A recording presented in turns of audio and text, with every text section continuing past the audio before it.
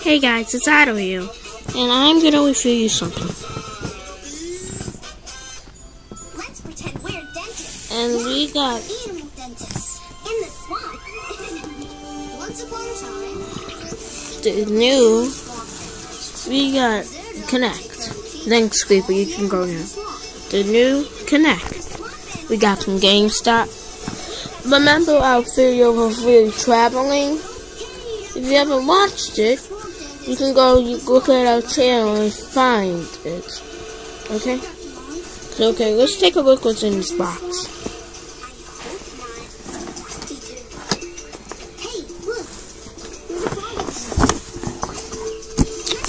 Oh, this is a long cord.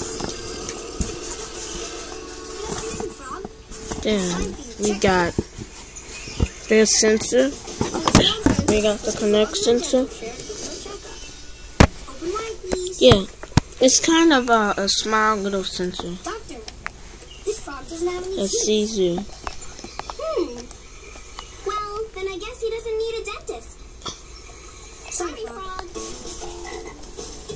Now what do we do, doctor? Let's go find another animal who needs a checkup. When it's off, you can rotate it.